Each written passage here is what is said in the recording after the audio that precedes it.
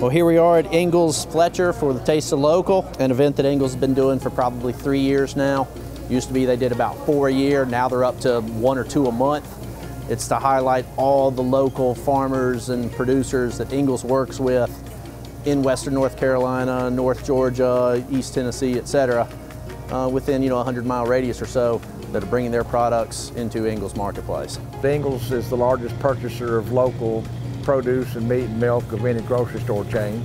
So I think that's pretty impressive. They, they really support local farmers and as a result of that you get some unbelievably good food. They are actually bringing local uh, produce right into their own stores and supporting the community that way. It's nice to, you know, meet and greet, see people, you know, thank them for coming out to Ingles, um, tell them exactly who we are and what we do. People are excited, they come in, a lot of them did not expect this, so they're pleasantly surprised when they come in.